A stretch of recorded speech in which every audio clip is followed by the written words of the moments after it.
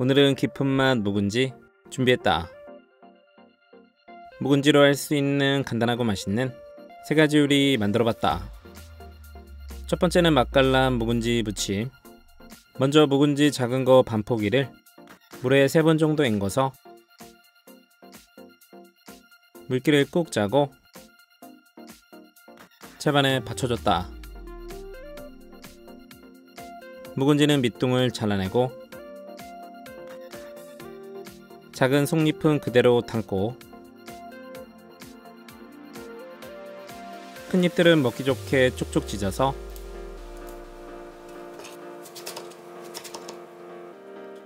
삼등분해서 볼에 담았다.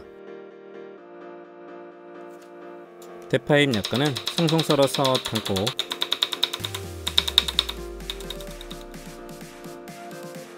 통마늘 두 개 잘게 다져서 담고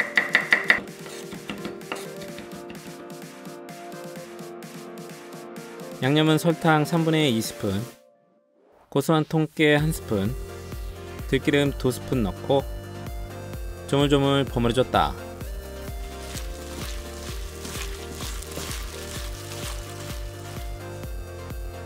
접시에 담아서 먹으면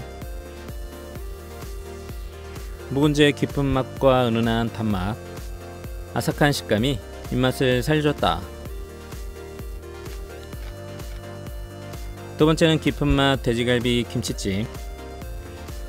돼지갈비 1.2kg을 스텐볼에 담고 물을 부어서 1시간 핏물을 빼줬다.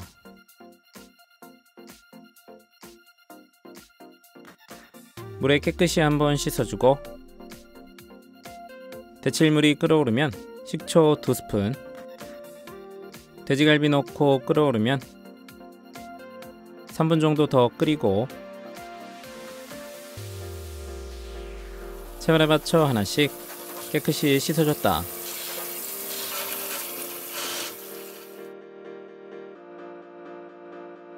그 다음 양파 작은 거 한 개는 굵게 채 썰어 준비 대파 한 개는 4cm 길이로 잘라주고 굵은 것은 반을 갈라서 잘라줬다 통마늘 3개 다져서 담고.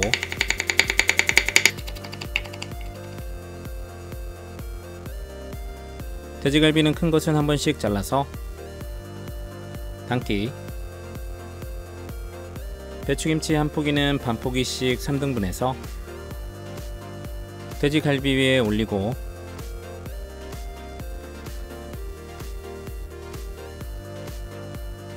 그 다음 쌀뜨물 1.5리터 중약불로 끓여주고 까는 국간장 3스푼 구수한 된장 크게 1스푼 설탕 3스푼 넣고 잘 섞어주고 끓어오르면 3분 정도 바글바글 끓여 잡내 날리고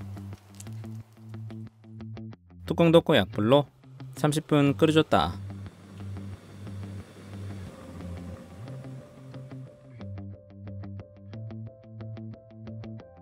시간 되면 뚜껑 열고 대파, 양파, 마늘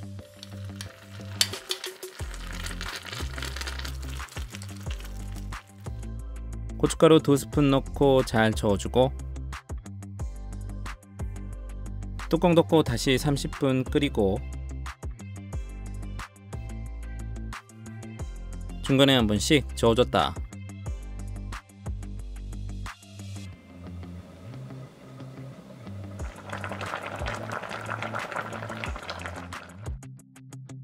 다 되면 그릇에 담고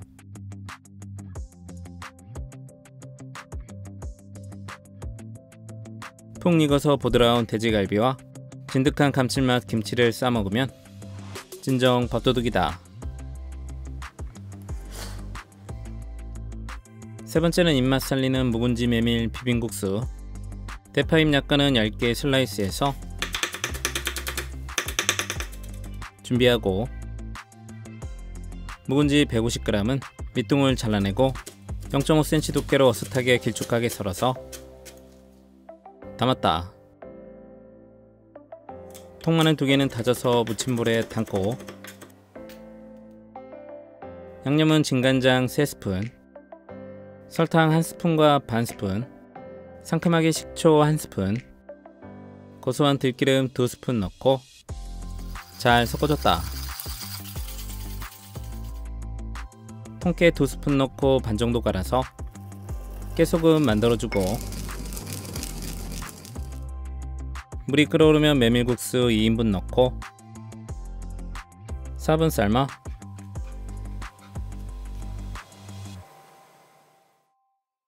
찬물에 차게 헹궈서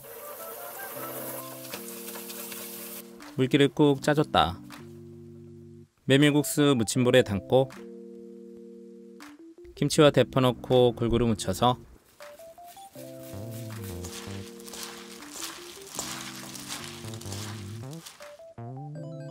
접시에 예쁘게 담고 깨소금 한 스푼 조미김을 올리면 완성. 잘 비벼서 먹으면 구수한 메밀국수와 시큼한 묵은지의 조합은 묻지도 따지지도 않고 맛있다